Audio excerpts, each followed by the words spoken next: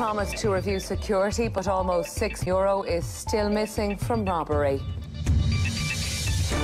In relation to, to my in relation to Euro, AIB Chief Executive. euro,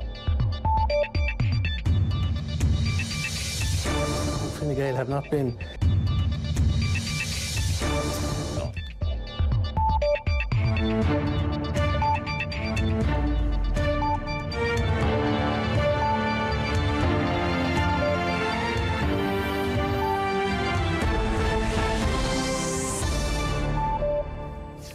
The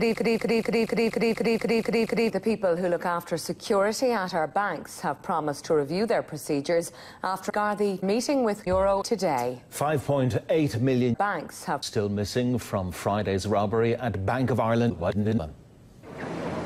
Despite recent events, business at Bank of Ireland's landmark Green Green building appeared to be back to normal this afternoon. In the space of just 15 minutes, Chaired by Assistant Commissioner McCarthy from our Security section, and was attended by the heads of security for all major financial institutions in the country.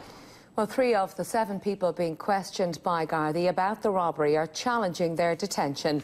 The Chief Executive Eugene Sheesh says he regrets some of the decisions he made in recent. He spoke to Euro News after announcing a big drop in profits. Eugene Sheehy is the head of the country's biggest bank and one of the few CEOs to keep his job during the current crisis. Today he said he was stepping down despite delivering what he himself described, pointing the ABI group made a pre-tax profit of 1 euro. That's a 62% drop from the previous year. The bank has had to set aside 8.1 billion euro to cover bad debts, and earnings per share are down 86%. I want to lead up through this process to make sure we come through this cycle uh, well and come out the other side of it. Do you have a time frame in your head of when you would like to leave the bank?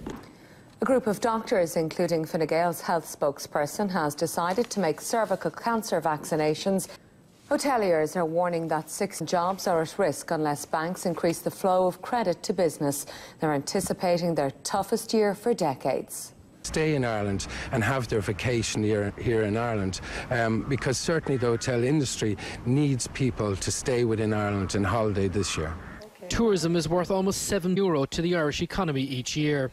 Hoteliers know this is going to be one of their financial ex toughest years in business, and experts are advising consumers to capitalise on the situation.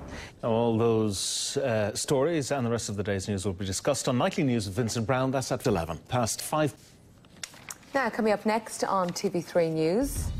The plans for Metro North, a public hearing begins. No action for the iPod keeper.